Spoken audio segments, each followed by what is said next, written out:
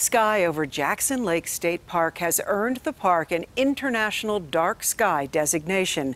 The state park in Morgan County is the eighth area in Colorado to earn that designation, but it is the first state park. The Dark Sky program aims to preserve and protect dark sites for their stargazing opportunities.